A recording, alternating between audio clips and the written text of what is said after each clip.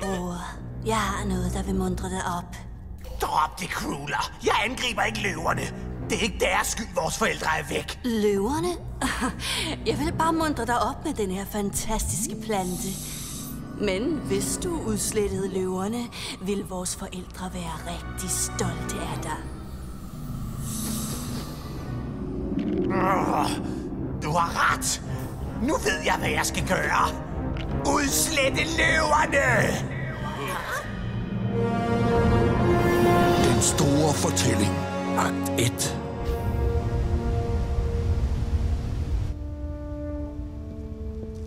Har du hørt fra Cracker? Ikke siden den nat. Vær tålmodig med ham, søn. Han har mistet sine forældre. Og nu er han konge og skal regere en hel klan. Ja, ja, ja. Jeg skal nok prøve at gøre det godt igen, hvis jeg ser ham. Det ville være ædelt.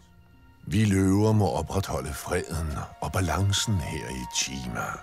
Det er vores hellige pligt, givet os af naturen selv. Uh-oh. Må ikke den store fortælling er på vej igen? Den store fortælling kan ikke fortælles for tit, søn. Det ved du da. Ja, far. Vi har ikke altid været de avancerede og civiliserede skabninger, som vi er nu.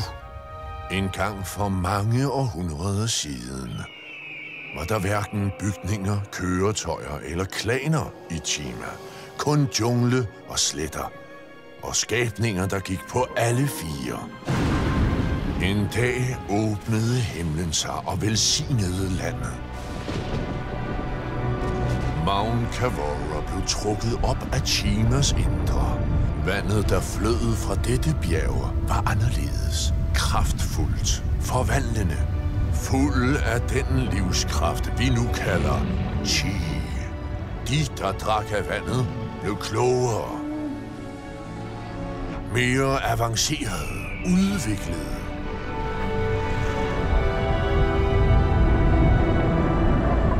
Visse af Chimas skabninger forsagede Chin. De forblev simple og rene. De forsvandt i øde landet og blev aldrig set igen. Disse skabninger er nu kendt som de legendariske dyr. Man siger, at de en dag vil vende tilbage, når Chima har allermest brug for dem. Men der er ikke mange her, der tror, de eksisterer længere. Mount Kavora forsyner os stadig med chi, men den bliver opsamlet her i løvetemplet, hvor den formes som kraftfulde kugler, takket være de særlige mineraler i det hellige bassin. Ja, far. Jeg har hørt den store fortælling mere end 100 gange.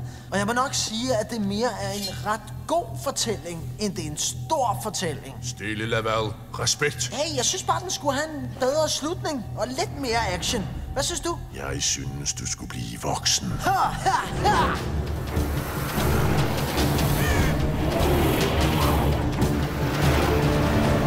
Så nu kommer de. Fedest! Men jeg, jeg kan altså ikke se Cracker. Han kommer efter sin chi-søn. Husk på, som de første, der smagte chi, er det også løver, der er de hellige vogtere, der sikrer, at chien bliver delt ligeligt af alle. Hver måned fordeler vi kuglerne mellem alle klanerne i Chima. Ja, sejt. Skal ikke være noget chi. Det bliver en god aften i aften. Selv de stammer, vi ikke er enige med. Hey, kommer Cracker også i dag? Mener du Kong Cracker? Ja, du skal nok få kongen at se. Bare rolig. Hvad mener de med det? Hvem ved? Jeg har aldrig forstået dillerne. Undskyld, Gravis, men det er tid til at præsentere den gyldne kugle. Åh oh, ja, der kommer også en ekstra kraftfuld gylden chi. En gang om måneden, men den kugle giver vi ikke væk. Vi kører om kap om den. Ja! Yeah! Velkommen borgere i Chima.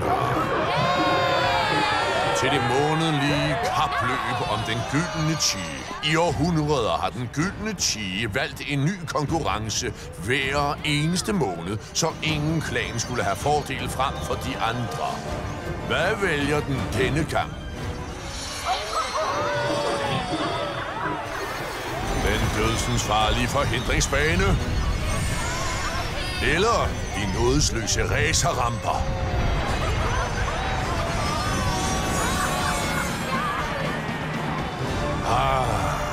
Den besluttet sig for dæmonkørselsdyst i junglen. Kære kører, Sikkerhedsudstyret på!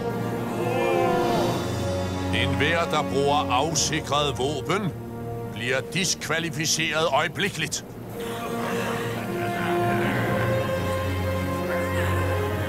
Første dyst, Laval mod Gorzan.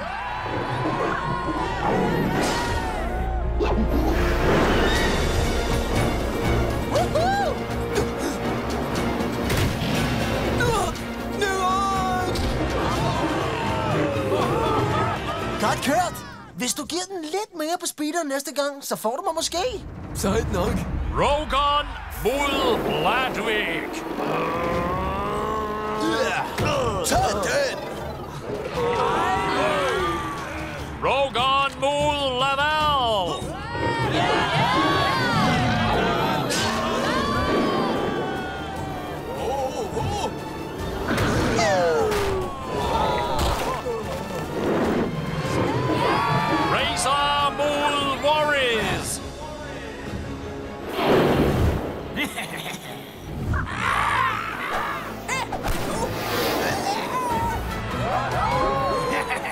er surt, at Cracker ikke er her. Han er helt suveræn. Han ville have slået alle de andre. Og så ville det bare have været ham og mig, som det plejer. Men ikke i dag, hvor det er dig og den lumske ulv, Warris. Sidste dyst, hvor vi finder vinderen af den gyldne chi.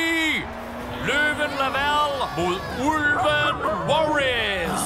Jeg har aldrig kunne lide dig, Laval. Ikke? Nå, men så kommer du virkelig til at hade mig nu, når jeg sender dig på hovedet ud af banen. Bare kom an.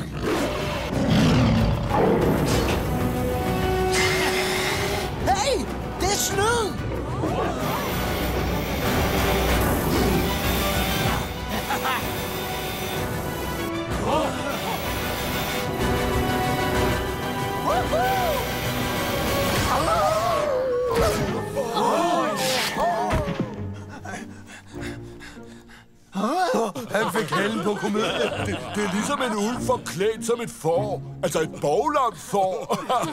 Der væk, snyder. Hvad? Jeg snød ikke. Det var dig, der havde et vildt spyd. Det kunne jeg umuligt have kommet forbi. Nemlig. Og næste gang, Løve, er du ikke så heldig. Det sværger jeg. Det lader til, at vi har en vinder. Ja, men det er kun noget, det lader til. Cracker? Ah, har I glemt jeres dyrebare regler, løver? Kun den kører, der får alle modstanderne til at falde, kan vinde den gyldne chi. Det er for sent nu, Cracker. Man skal være her fra starten, hvis den regel skal gælde. Vil det sige, at de mægtige løver heller vil gemme sig bag en gammel regel end møde en fjende? Jeg er klar til at dyste. Jeg vinder sådan omkring halvdelen af de gange, jeg møder ham. Regler er regler, Laval. Men far, Nå, hvad siger du, Laval? En lille dyst for gammel venskabs skyld? Bare mig, dig og skæbnen. Ikke her, Laval. Du må respektere reglerne. Uden dem er vi intet. Nå, men hvis du ikke vil dyste, finder jeg bare en anden, der vil.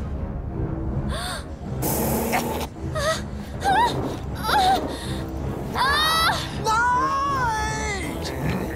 Jeg elsker fjerkræ. Nu er det kun dig og mig, Eris.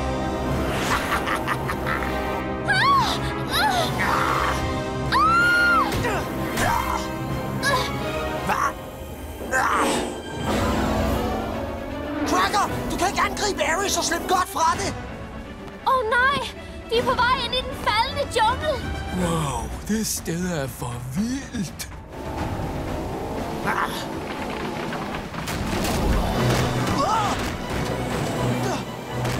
kender du kæberne, gamle ven.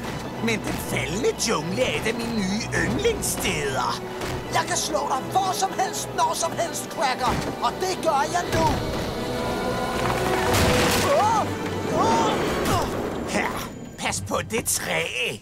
Jeg vil meget hellere begrave dig i en hule, ligesom du begravede mine forældre. Cracker, det var ikke det, der skete. Fortæl det til spydet løve.